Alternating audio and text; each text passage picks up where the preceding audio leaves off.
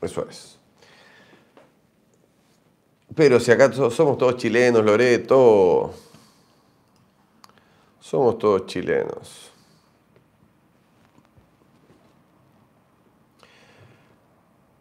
Ajá, la Viani ahí ya me quiere hacer consulta. Mire, voy a colocar acá, espéreme.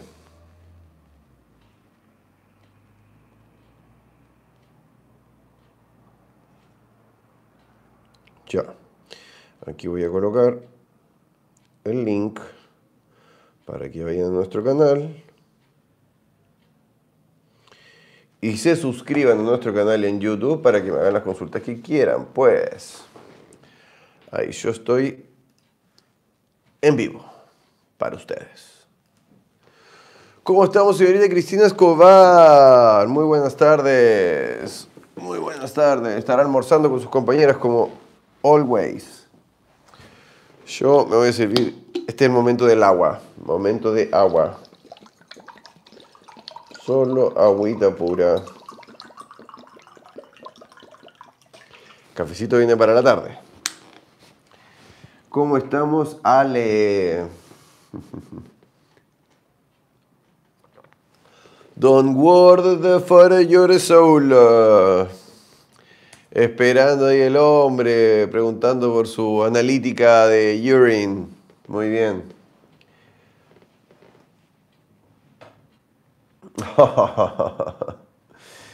Qué agradable comentario hizo la señorita Negrita Cav.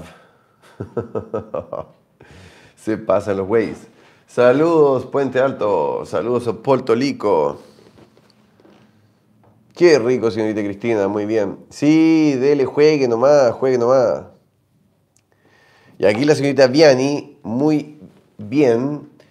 Ella sigue la cuenta acá en TikTok y se fue a YouTube a suscribirse al canal y a preguntarme lo siguiente. ¿A qué médico debo ir cuando voy al baño del 2 y me sale sangre. No, aquí primero que nada, eh, señorita Ana Montanares, la saludo, miembro ilustrísima de nuestra comunidad. Eh, en primera instancia, un médico general, no sé dónde será usted, señorita Vianney, si es de Chile, la atiendo yo porque ahí hay que hacer colonoscopía. Yes or yes.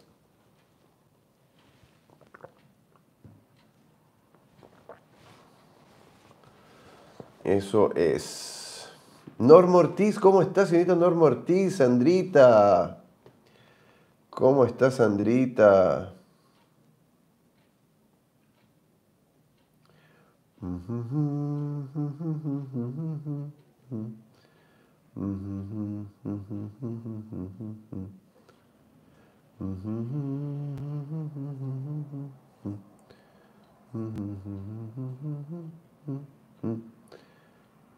Eso es. Uh, ya, vamos viendo. Pero ese examen me da miedo. Es que pierde el miedo, la anestesia general no va a pasar nada, señorita.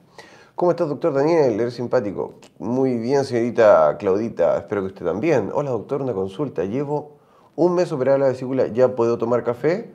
Sí, sí. urobilinógeno en la orina.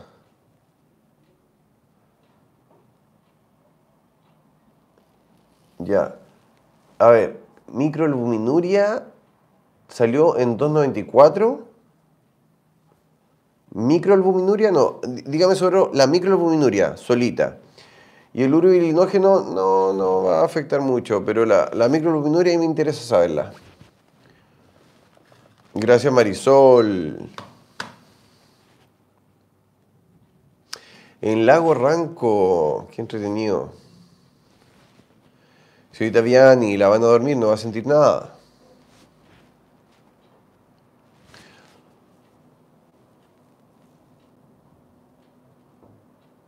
Eso, Magda, qué bueno.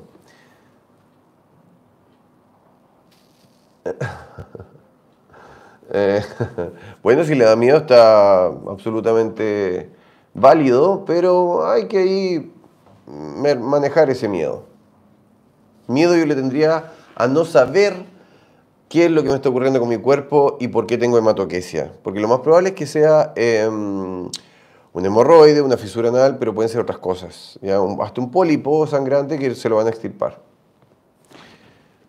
Me pregunta Carolina Escobar, doctor, una pregunta. Una amiga tenía epilepsia, ¿tiene cura? Mm, si es que no ha habido ninguna crisis durante unos cinco años tomando su terapia, uno piensa de que puede estar de alta, pero el neurólogo tiene que cortar el queque. ¿Qué me dice acá? ¿Se puede estabilizar con la B12? Chuta, no, no sé qué cosa hay que estabilizar con la B12. Saludos, Quillota.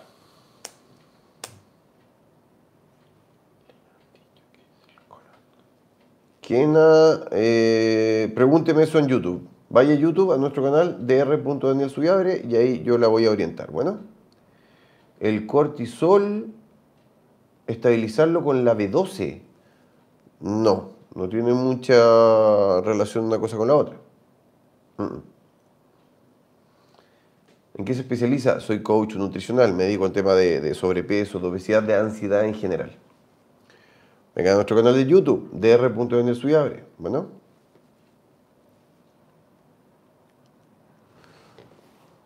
Qué bueno que esté mejor, señorita Zumba, que estamos para la embarrada. De Nacio y de Cristina. Vamos viendo. Hola, Maye, Mayerling. ¿Cómo estamos? Vayan a nuestro canal de YouTube, dr.daniel se suscriben al canal, me preguntan lo que quieran, mire. Profe, ¿para qué sirve la prednisona? Mm, mm, mm, Hablemos de antiinflamatorios esteroidales en YouTube. Ahí les puse el link, pregúntenme eso en, eh, en YouTube y yo se lo voy a comentar. Saludos a Coquimbo Edith. Doctor, mi hija se resfrió, vómito con flema y puros síntomas de resfrío. Bueno, efectivamente el mismo virus, el virus, el rinovirus, el coronavirus, el adenovirus, eh, pueden provocar siempre tendencia a afectar más a un eh, sistema, al respiratorio o al gastrointestinal. Em, así que sí, perfectamente esto puede ser algo viral y es autolimitado, pero hay que tratar los síntomas. Doc, ¿y si es solo una fisura, igual es necesario? Sí. Porque imagínense que tengo una fisura, que se pueda ver el examen físico, pero yo no sé si la sangre viene de ahí, señorita, o viene de más adentro. Así que ojo ahí que la colonoscopia tiene que ir sí o sí. Sí o sí. La uremia alta, mm, buena pregunta. Vaya a YouTube y pregúntemelo. Bueno.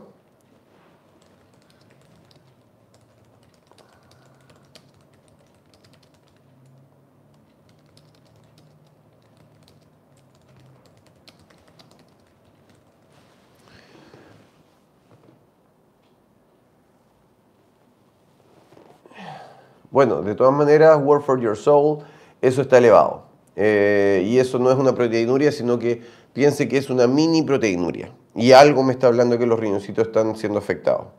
Hay que estudiar eso, sí o sí.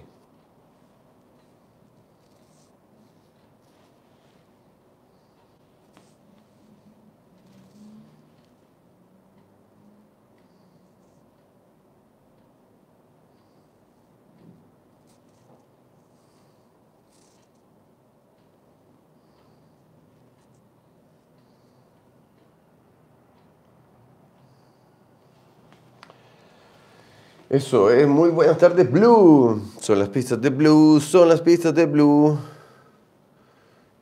Eh, bueno, no insuficiencia renal, sino enfermedad renal crónica. Sí puede ser. Puede ser Work for Your Soul. Por eso hay que estudiarlo, no con un examen, no un diagnóstico.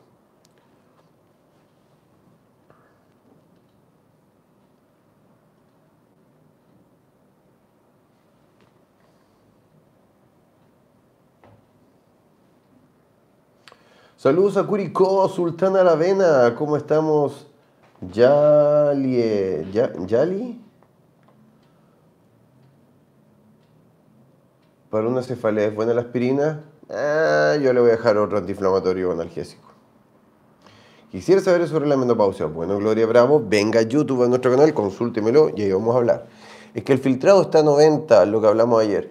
Sí, es que no por el filtrado yo le voy a decir que tiene una enfermedad renal crónica, sino que eh, eso puede ser, por ejemplo, no tendremos la presión arterial muy elevada, no tendremos el azúcar eh, un poco complicado y efectivamente puede haber una insuficiencia renal o una enfermedad renal crónica eh, mediada por anticuerpos, por un montón de causas. Y lo que uno hace es pedir de nuevo un examen de orina, eh, microalbuminuria y bueno, filtración glomerular que viene siempre de la mano, y la creatinina en tres meses más. Y ahí uno toma decisiones. Mientras tanto, no comemos tanta proteína, buena hidratación, hidratación, nada, no pilsen. Ojo ahí, work for your soul, ya le dije, no tanta pilsen. Buenas tardes, Gonzalo.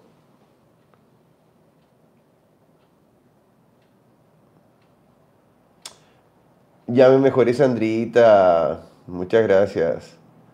Norma Ortiz, paraguaya. Mire, ve, no sabía que era de Paraguay.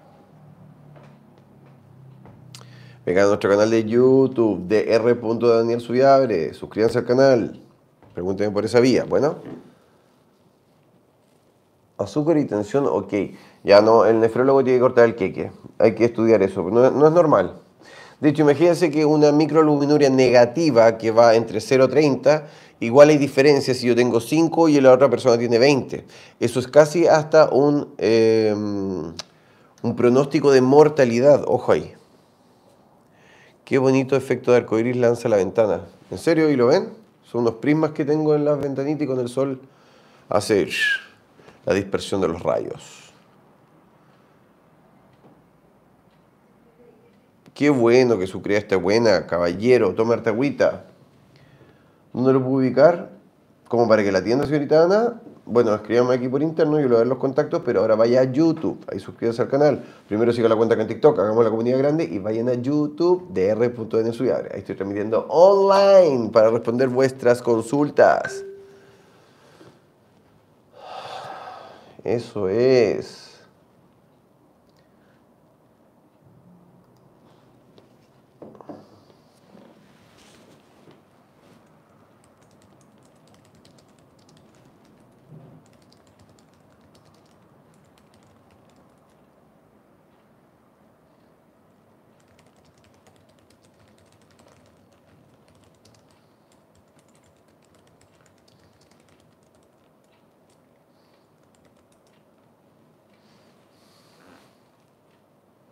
Doc, me salió la uremia alta y LDH bajo. Muy bien.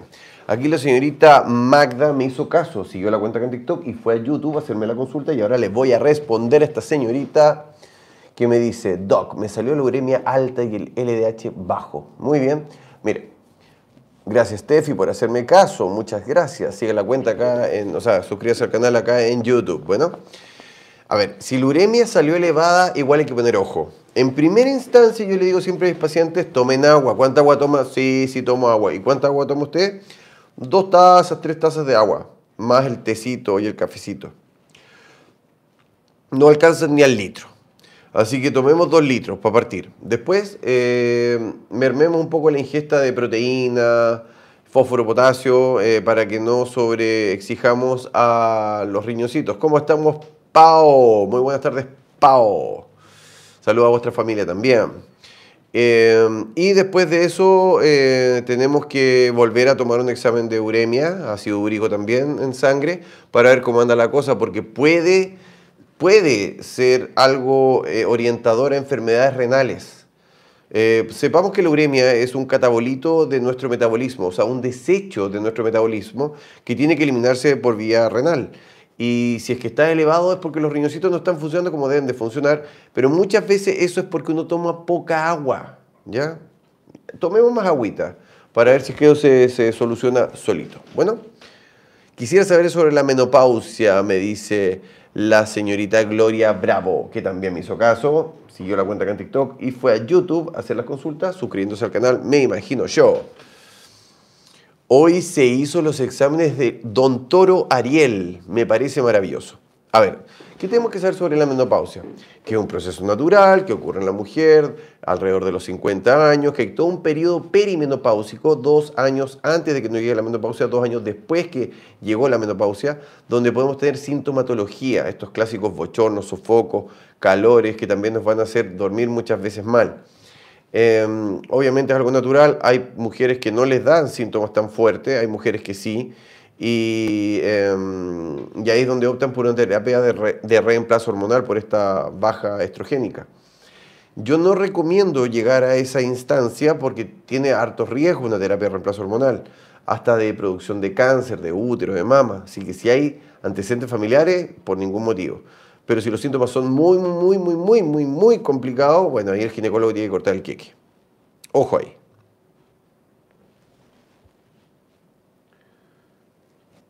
A ver, Doc, en el consultorio me recetaron Eutirox 150 microgramos y me dicen que es demasiado, que me hará mal.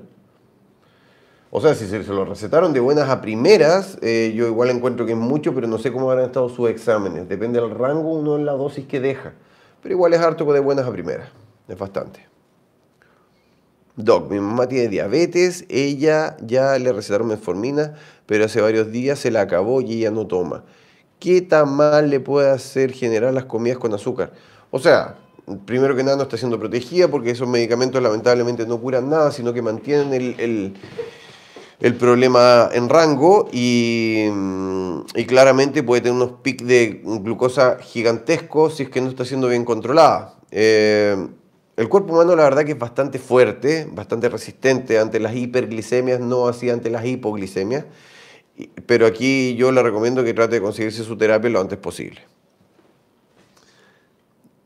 Doc, adivinanza, creatina sanguínea y en mi PIS lo que te dije, ¿cuál es el factor Sorpresa. No, ya, ya, no hinchamos la guinda acá. Hola, Doc, qué bueno tomar té de boldo. Mire, ve el boldo, este eh, depurador hepático que nos va a hacer eh, mejorar nuestra, la salida de las sales biliares por la vesícula. Sí, es bueno el té de boldo. Consumamos boldito. Yes. ¿Cómo estamos, Yadira? ¿Cómo prevenir los cálculos de la vesícula? Qué buena pregunta, Lucas. Qué buena pregunta, Lucas. Venga a YouTube, a nuestro canal de r.nl se suscribe al canal y me pregunta lo que quiera. Bueno.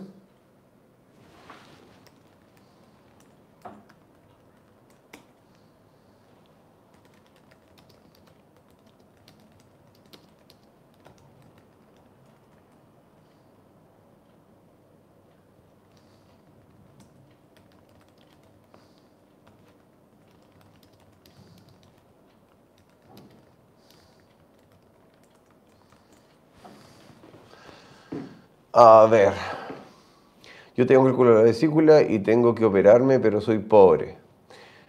Ya, no sé cuántos años tendrá señorita Steffi. Si tiene entre 35 y 49 años y es de Chile, eso cae dentro de la categoría GES, o sea, la garantía explícita de salud. Y si usted va al consultorio, le van a realizar una interconsulta donde va a andar todo bastante rápido. Ojo ahí, ¿ya? Así que yo iría al consultorio para que nos hagan las derivaciones pertinentes. Ya, doctor, ahora, mi pregunta fue, ¿cómo prevenir los cálculos de la vesícula post cirugía bariátrica?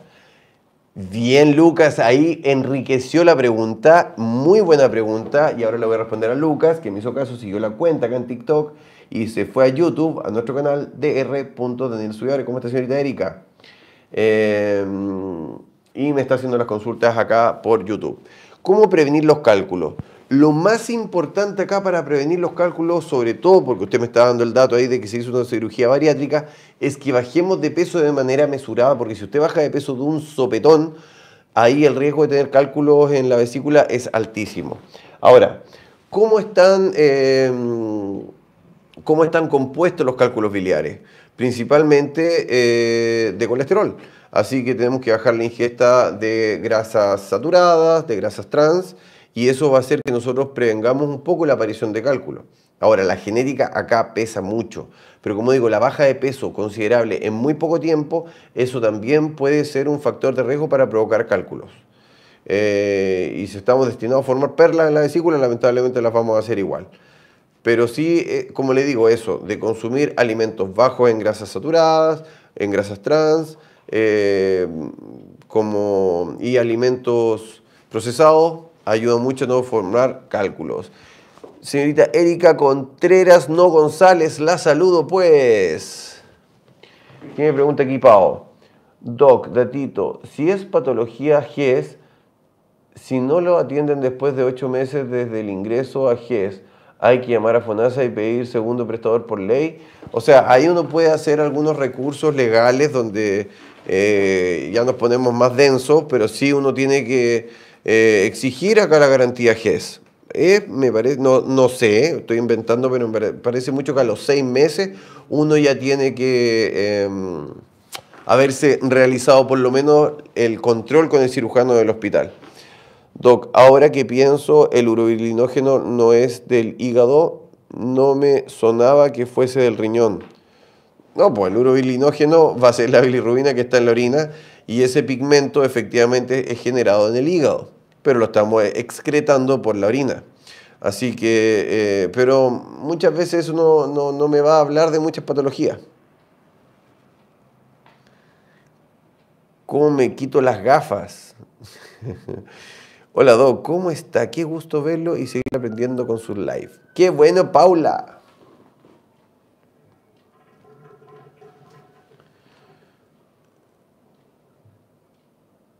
Miren la Rosita, ahí me está defendiendo de qué, ¿por qué pasó acá? ¿Por qué tanta agresividad? ¿Qué pasó acá?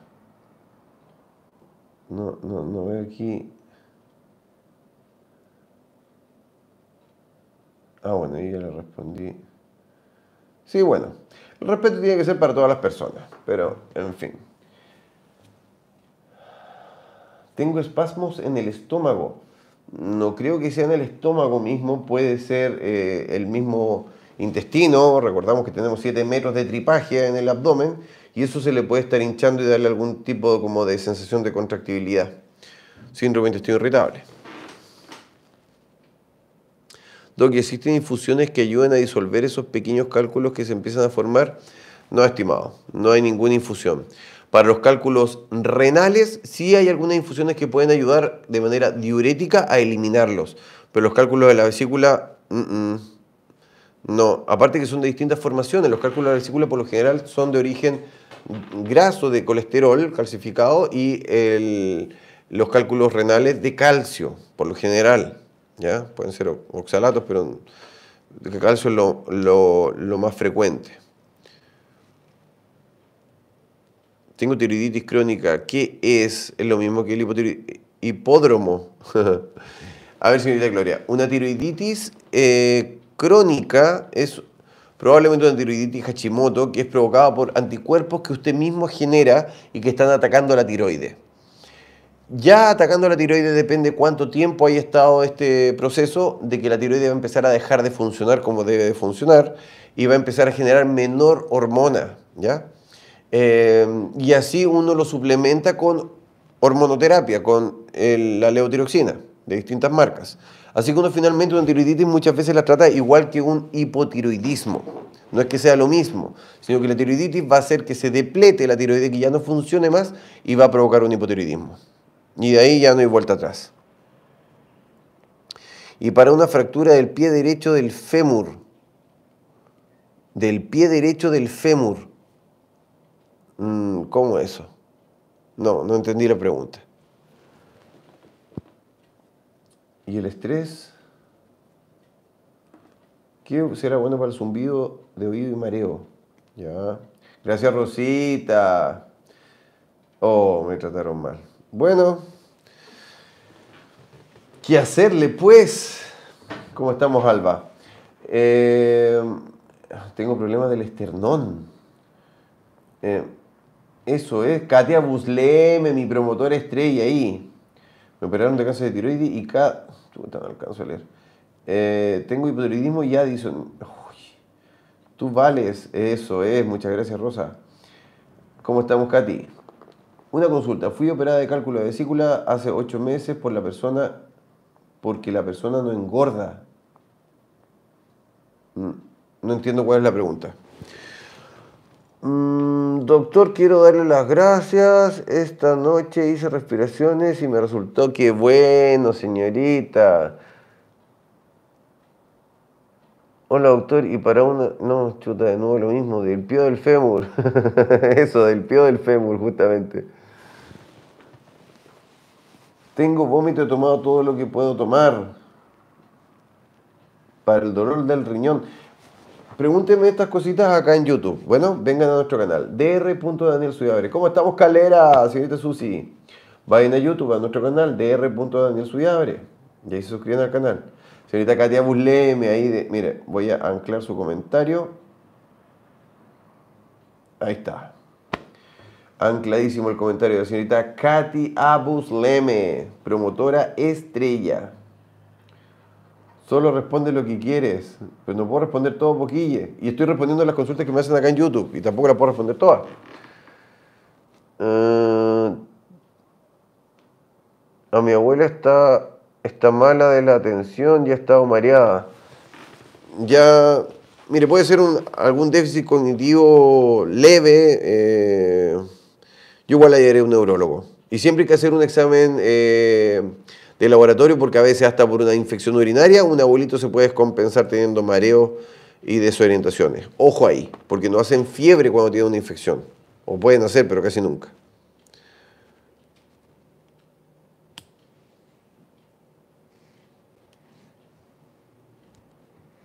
¿Un diabético puede tomar magnesio? Sí, no, no hay problema. No es que yo le esté recomendando que tome magnesio porque sí, eh, sino que hay que saber qué es lo que está ocurriendo. ¿Por qué la duda de tomar magnesio? ¿Le ocurre algo? ¿Tiene un síntoma? ¿Qué, qué está pasando? Doctor para el dolor del riñón. Jessica Salas me hizo caso, siguió la cuenta acá en TikTok, se fue a YouTube y me preguntó. También la alegría es mía. Me preguntó acá, ¿qué es bueno para el dolor del riñón? A ver, lo más importante acá es saber por qué piensa usted que le duele el riñón. ¿Ya? Eso es muy importante. Porque eh, muchas veces el paciente me dice, doctor, me duele acá atrás, la, parte alta de la espalda, ¿será el riñón? Por lo general no, por lo general. Un dolor renal, un cólico renal, uno no se va a olvidar nunca en su vida. Duele de manera salvaje. Uno por muy eh, resistente a los dolores que sea, igual va a caer al, piso como un chanchito de tierra enrolladito y va a querer que lo lleven a la urgencia para que de alguna u otra forma le quiten el dolor. Así que, ¿por qué me duele el, riñón? ¿Tendré una infección urinaria? Imagínense que tengamos una pielonefritis. Yo le hago puño percusión, así, despacito en la espalda, y uno llega como a rebotar del dolor, puede ser una pielonefritis. Si yo le hago eso, no le duele, eh, puede ser un cálculo renal, depende cómo sea la historia del dolor mismo que viene fuerte y después se va, pero se mantiene algo insidioso, ya.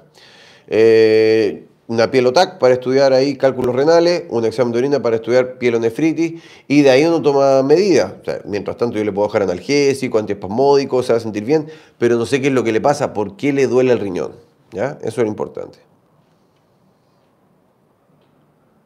¿Alguna forma de subir la testosterona de manera natural?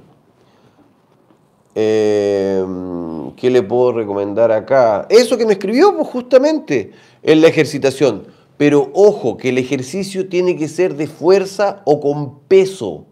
Ya, con peso. No saca nada de salir a trotar, andar en bicicleta, nadar. Que no es que sea malo, estamos hablando acá de la testosterona. ¿Cómo yo estimulo la testosterona de manera endógena? Con peso, ¿ya? Generando mayor fuerza, generando mayor reclutamiento de las fibras musculares rotura de fibras musculares. Eso va a generar mayor testosterona. Sí.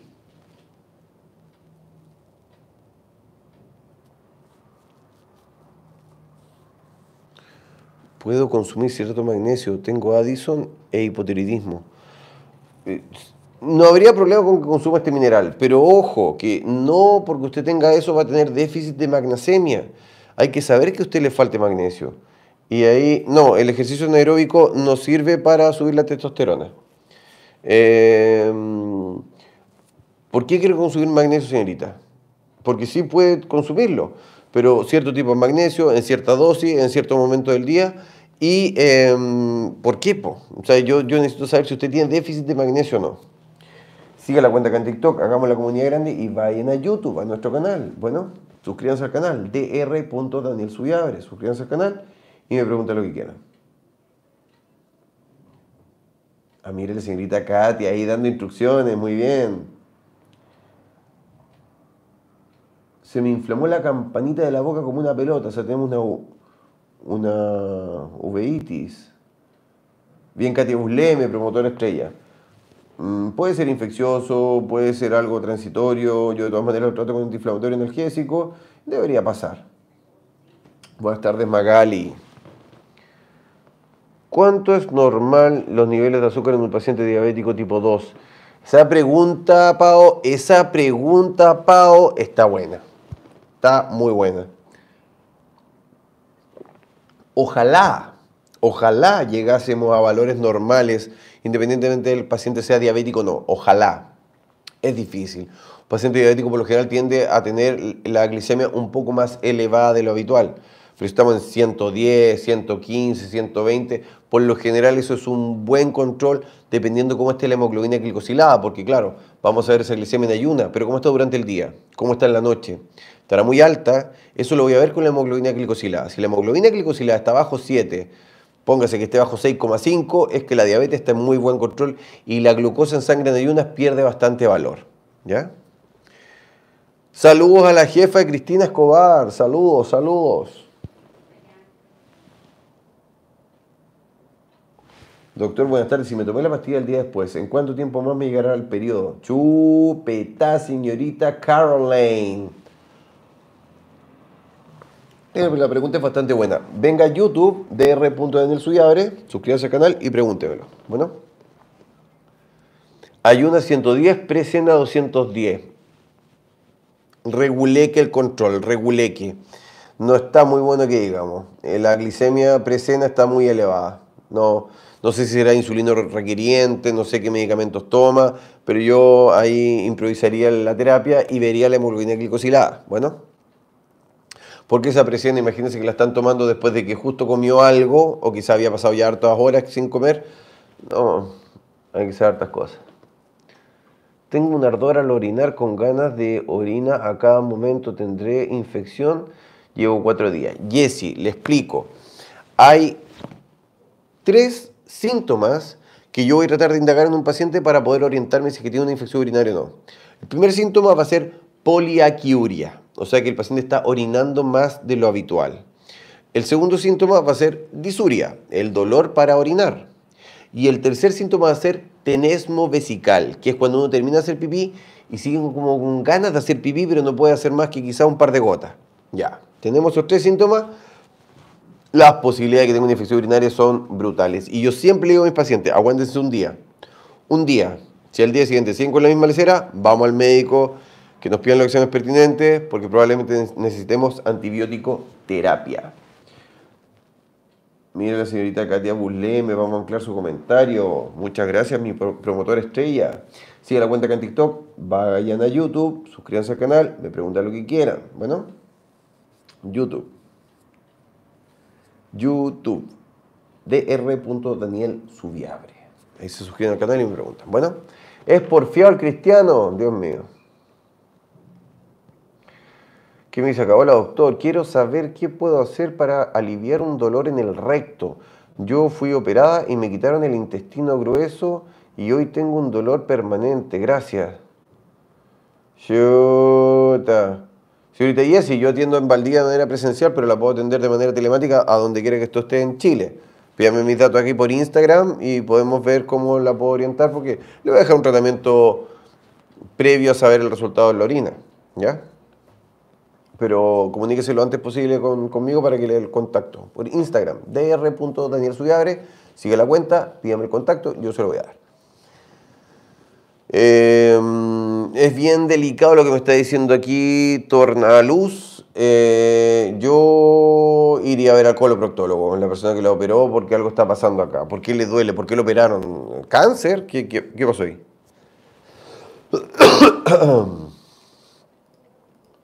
ya, aquí tengo que actualizar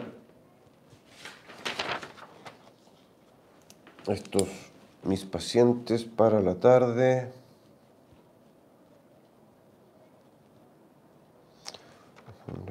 Hernández Coaching. Liliana Maitri. Matilde.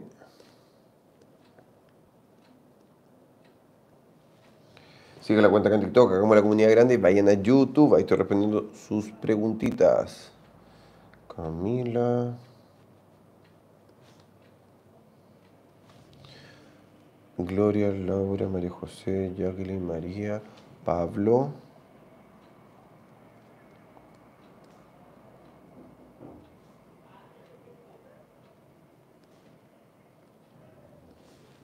Y Roberto. Muy bien. Eso, vaya a buscarme, señorita Jessie, yo la espero encantadísimo. Ay, doctores, ya, Dios mío. Gracias por los piropos. Que no me creo eso, ¿ah? pero está bien que alguien que le suban el ánimo a este pobre cristiano. Que otra parte me decía, me dice que soy chanta. Dios mío. Me gusta la gente ahí andar atacando. ¿Con qué sentido? No tengo la menor idea. Me delata el nombre. Le deleto el nombre. a ver, ¿a dónde estamos? ¿Va? ¿A dónde está la cosa? ¿A dónde está la cosa? Aquí estamos. Dr. Daniel Subiabre, suscríbanse al canal y me consultan cosas. Bueno, Miley, Patricia, muy buenas. Vamos viendo. Gracias, Cristina, tan amoroso usted. Hola, Doc, una consulta. ¿Será bueno tomar aceite de coco diariamente en ayuno? ¿Qué queremos? ¿Queremos subir de peso? ¿Qué estamos buscando? Y no es que sea malo subir de peso, ¿ah? no lo estoy diciendo de manera irónica, para nada. Gracias, señorita Pau. Muchas gracias, señorita Pau. Eso sube el ánimo, dan ganas de seguir tomando agua acá con ustedes.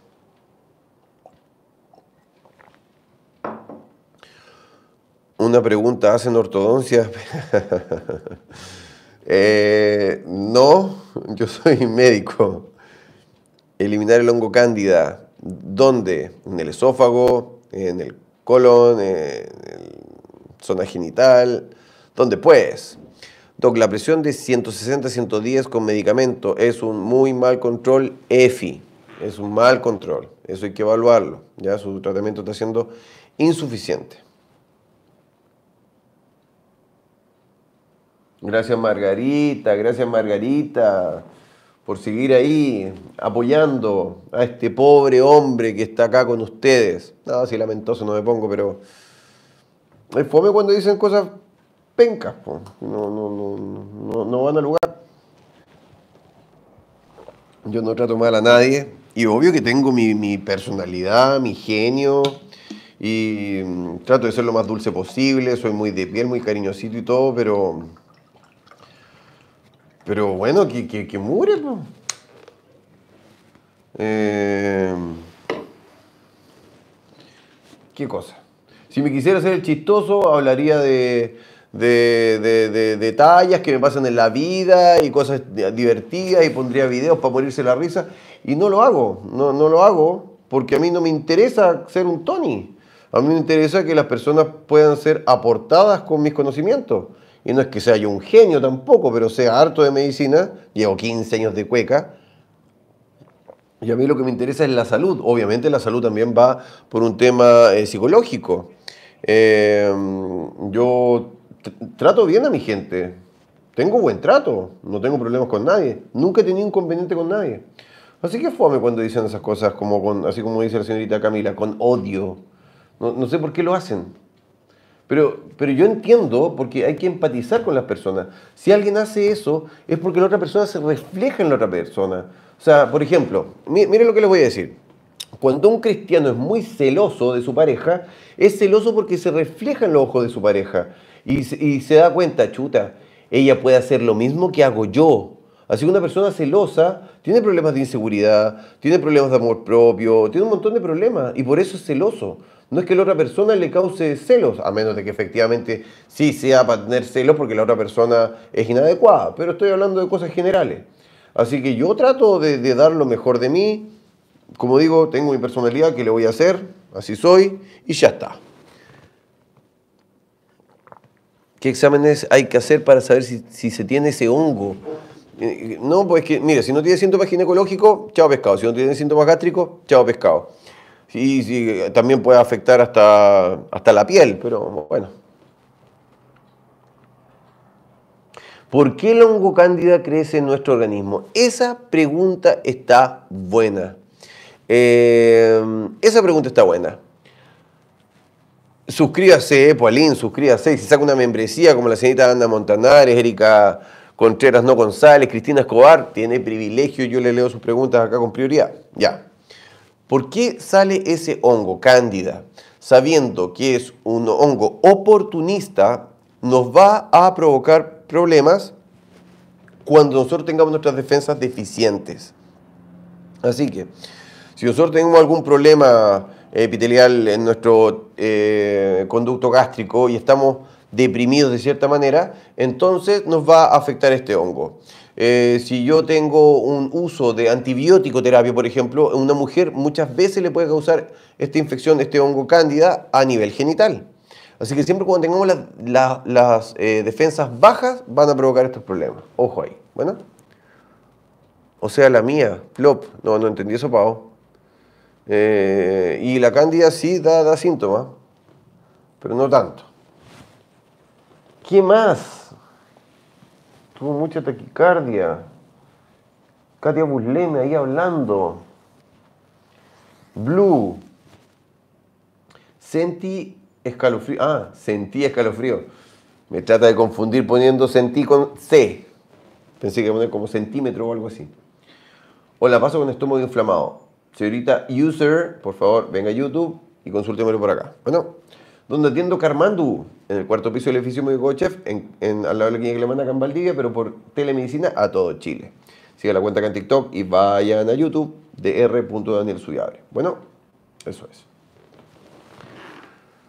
Mi pregunta no era tan buena. Me sentí. No entendí, Pau, pero Pau, no, no entendí. Doctor, ¿qué dice ahí?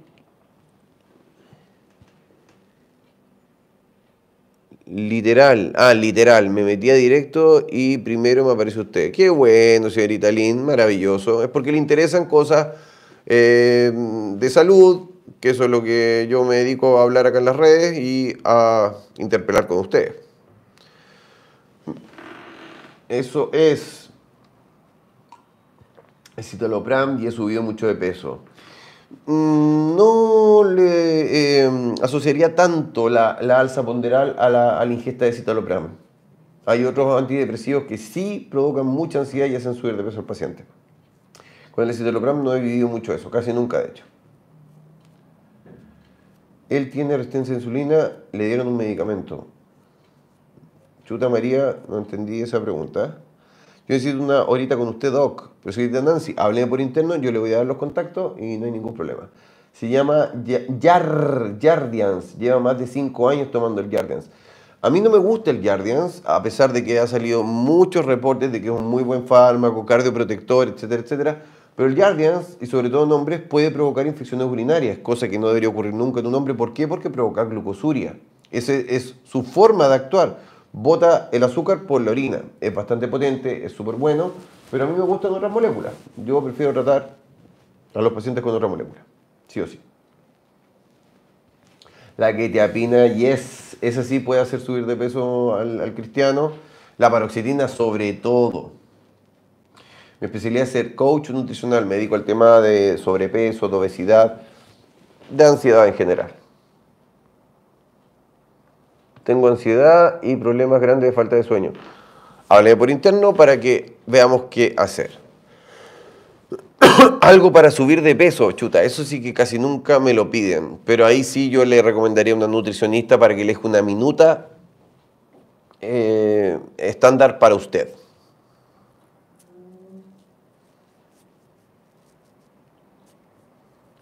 El aceite de coco, que tenga propiedades antimicóticas, no, no se le va a pasar la infección micótica con eso. ¿De qué país es usted? De Chile, Chile, sur de América. ¿Afecta dormir poco? Muchas gracias. Sí, claro que afecta dormir poco. En tantas áreas, primero que nada no vamos a generar la hormona del crecimiento. Segundo, vamos a andar más estresados y cansados al otro día. Tercero, vamos a andar más ansiosos porque no generamos la hormona leptina y grelina que deberíamos generar para el manejo de la ansiedad y saciedad. Eh, así que claramente aquí el, dormir poco sí afecta mucho. Aparte de todo lo que uno aprende, cómo se va guardando en la memoria y todo eso.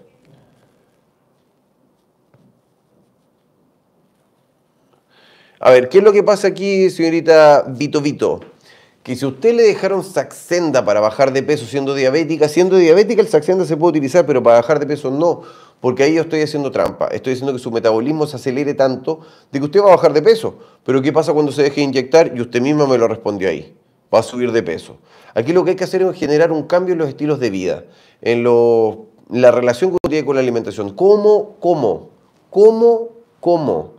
Eh, que eso no lo habla prácticamente nadie. Y en eso es lo que yo me enfoco en mis pacientes en coaching nutricional, en, los hábitos saludables alimenticios, en, los gustos que uno debería tener y cómo modificarlos, porque si uno quiere un resultado diferente, tiene que hacer algo diferente. Es que yo soy dulcecita, doctora, a mí me encanta la tortita, después hay cosas que hay que dejar su ingesta si es que quiere tener un resultado diferente. Yo soy de Santiago, yo la puedo atender por telemedicina, no hay ningún problema. Pues...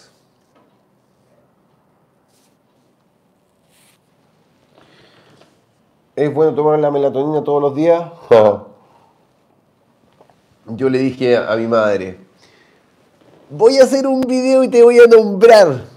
Diciendo porque ella se, manda su melatonina y valeriana en las noches para dormir y duerme como el ajo. Em, voy a decir qué tan bueno es tomar estos dos pichigates que tomáis tú. Es que naturales y la cacha y la spa. No, no es bueno tomar melatonina porque sí no, no, no es bueno. Y, para inducir el sueño, obviamente que lo está tomando usted, pero no es algo natural, por si acaso. Nosotros producimos melatonina, pero generemos más melatonina. Eso sí, eso es importante. Bueno, generemos más melatonina. Bueno. Ahora, ¿cómo genero más melatonina? Ajá, ajá. ¿Cómo lo hago para comunicarme por interno? Busque en Instagram, ya porque aquí los comentarios de YouTube no, no, no, puedo llegar a todo. Así que en Instagram sí, eh, dr.daniel siga la cuenta y me dice, doctor, necesito tal y tal cosa. ¿Me puede ayudar? Yes. Un gusto, Lin.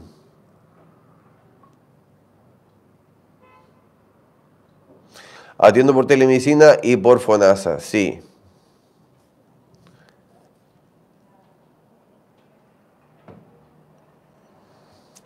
Debe ver, a ver, señorita eh, Gabriela. Doctor, tengo litiasis renal izquierda sin datos de uropatía obstructiva. ¿Es grave? ¿Qué especialista debo visitar? Para esto le va a haber un urólogo de buenas a primeras. Si los cálculos son pequeñitos, usted puede tratar de eliminarlos, ya que le voy a dar una receta familiar. Compre dos hierbitas. Limpia plata o lava plata, que se utiliza mucho para la infección urinaria, y los pelos del choclo, pelos de la punta de la mazorca del choclo junte las dos hierbitas, las pone en una infusión y eso es un gran diurético que puede hacer que usted elimine ahí los cálculos. ¿Ya? Puede ser. No le voy a decir tome cerveza porque no, esto es más sano. Estamos bien acá, Cecilia. Pero un niño autista, ¿cómo lo hacemos para que genere más melatonina? Chuta. No, ahí el neurólogo tiene que orientar a la señorita, porque eso es complicado, porque tenemos que inducirle un sueño reparador, profundo, sin estimulaciones de, tablet o cosas electrónicas, en un ambiente cálido, em, cómodo, em, sin comer algo fuerte en la noche, un buen higiene del sueño, y ahí es complicado, es bien especial la situación.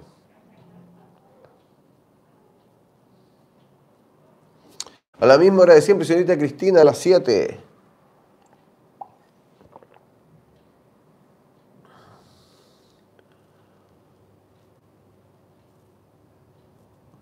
No sé qué tipo de ansiedad me está hablando acá, señorita Gloria.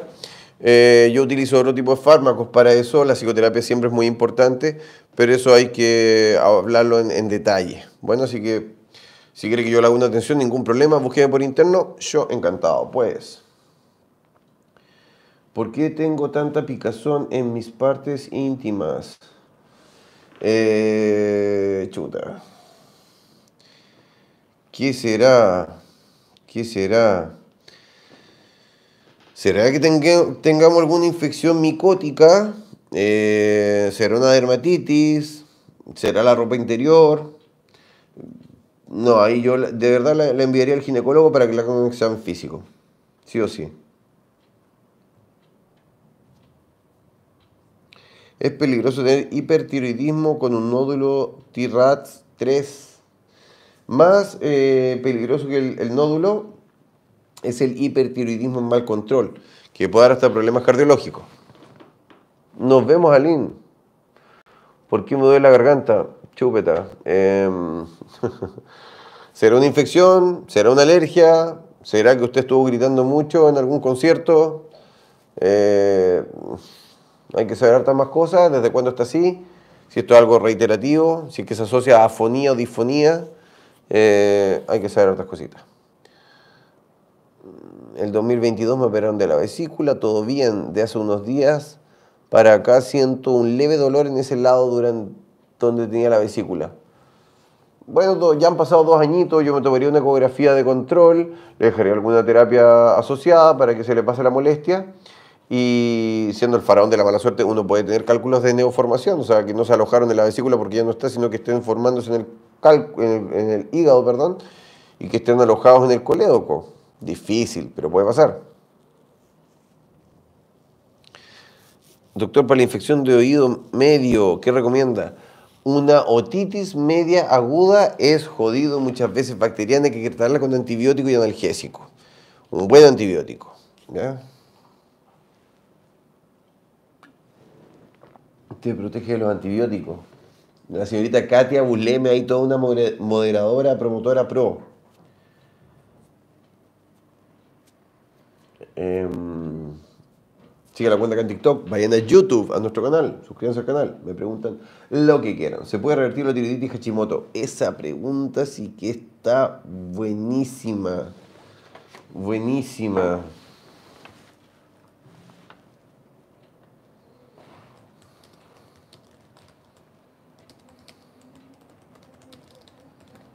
Vaya a YouTube a hacerme la consulta, por favor, bueno.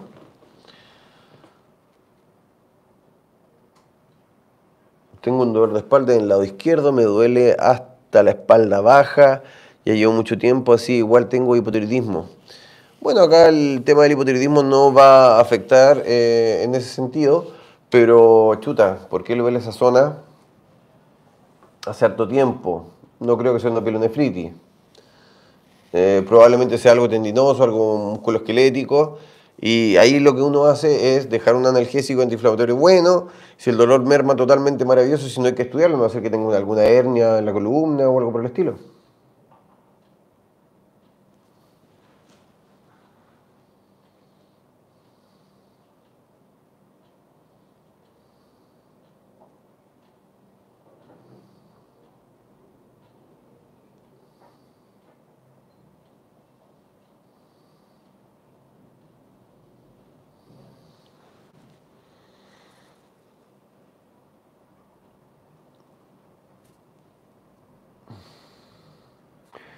¿Qué hago si empiezo a tener hemorragias repentinamente? Chuta. Yo diría un hematólogo. ¿Por qué ocurre eso? ¿Tendremos alguna enfermedad más o menos delicada como una enfermedad de von Willebrand, eh, una trombocitopenia idiopática severa? No, yo ahí me, me estreso, me estreso. Crónica, hernia discal, excluida, quiste también, hipertensión y ahora diabetes mucho. Algo que se pueda tomar para el alivio que sea natural. Chuta. Tomar no, pero sí yo daría una terapia cognitivo-conductual con psicólogo porque eso tiene que ser algo psicológico.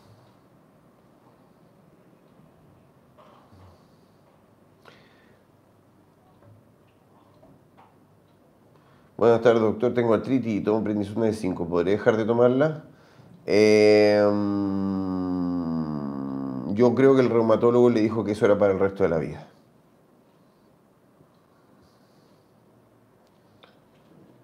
No, señorita, no se automedique con sertralina, por favor.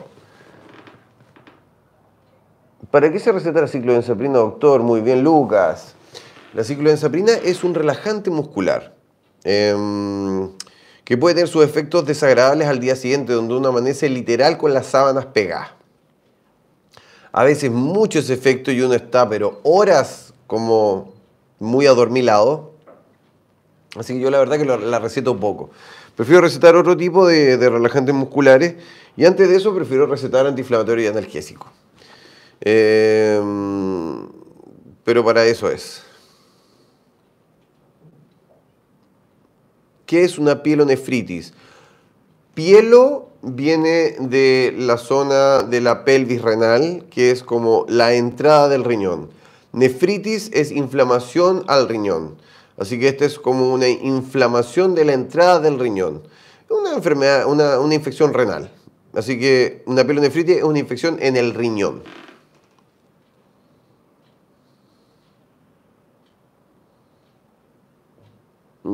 A la mamá con muchos dolores de los huesitos yo la llevaría al médico para saber si esto es algo puntual, si es algo en muchos puntos dolorosos. Hay que saber si esto tiene tendencia a artrosis, artritis, fibromialgia. Hay que hacer una buena anamnesis y probablemente un buen estudio. Los jugos verdes por la mañana. No es que sean beneficiosos por la mañana, sino que son beneficiosos porque sí. Tienen muchos minerales, tienen fibra, tienen vitaminas eh, así que le van a servir los jugos verdes de verdura, de, ensalada, no, no, de fruta. ¿ya? Los jugos verdes, por ejemplo, ah, que la manzana es verde. Sí, pero eso tiene mucha, mucha, mucha fructosa y ahí ya le estamos jodiendo la fibra. Así que entre carbohidrato simple y carbohidrato complejo, estamos jodiendo el carbohidrato complejo, que es lo que nosotros tenemos que eh, consumir, y el carbohidrato simple eh, lo estamos haciendo como más eficiente en su labor de subir nuestra glucosa, lo cual no es beneficioso. Así que una fruta se mastica. Bueno, eso es. Me envió un mensaje por interno, señorita Katy, apusleme. Ahí lo voy a revisar. Ya estamos terminando el live. Quedan un par de minutitos.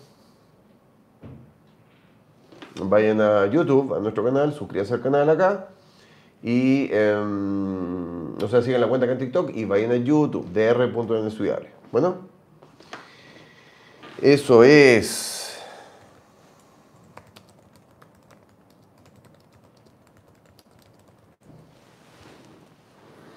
Doc, soy adicta café, por ende sufro de insomnio, no sé cómo dejar de consumir. Chuta, ya. No, pues. Ahí yo trataría de cambiar por un café lo más suave posible y tomar más temprano que de noche. Y de a poco irlo dejando, si puede provocar síndrome de abstinencia. Así que vayamos bajando la cuota del café.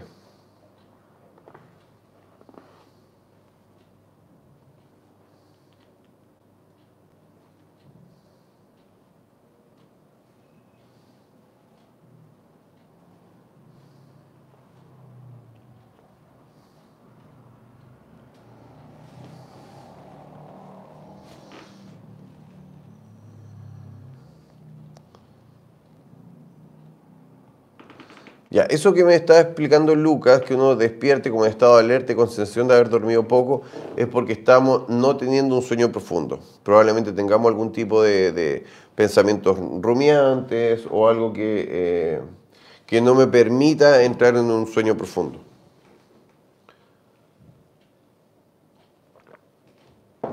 Que la cuenta acá en TikTok, hagamos la comunidad grande, vayan a YouTube, a nuestro canal, dr.densuer. ¿Qué medicamento es bueno para la ansiedad, Jimé? Em, hay fármacos antidepresivos y hay fármacos ansiolíticos netamente que van a ayudar, pero depende acá. ¿Qué problema de ansiedad tiene el paciente? ¿Será algo eh, anímico? ¿Será algo generalizado? ¿Será algo con relación a la alimentación? Ya ahí uno sabe qué tipo de terapia dejar, por cuánto tiempo también y qué efecto le va a causar al paciente. Siga la cuenta acá en TikTok, hagamos la comunidad grande y vayan a YouTube. Bueno. Eh, el mal de la vaca loca es tan, tan, tan poco frecuente, provocada por un prión. Un prión es, por decirlo de alguna manera, un conglomerado de aminoácidos que no alcanzan a ser una proteína, sino que es muy chiquitito y es algo extremadamente grave, gravísimo, muy grave.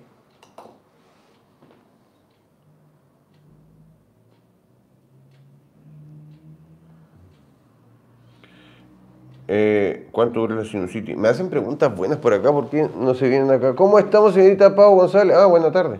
Ah, ya se está despidiendo, muy bien. A veces sobrepienso mucho. Es el tema, po. Es el tema. No, aquí yo haría una terapia cognitivo-conductual para el insomnio por algún psicólogo cototo antes de andarme pichicateando, porque usted mismo se está dando cuenta que sobrepiensa mucho las cosas. Así que eso es. Muchas gracias, Katia Busleme, promotor estrella. Ahora me voy a meter en su mensaje porque acabamos de terminar nuestro live en YouTube. Los quiero mucho, un besito, me despido y nos vemos más rato en la tarde a las 7. Viene nuestro próximo live. Que estén muy bien, cuídense mucho.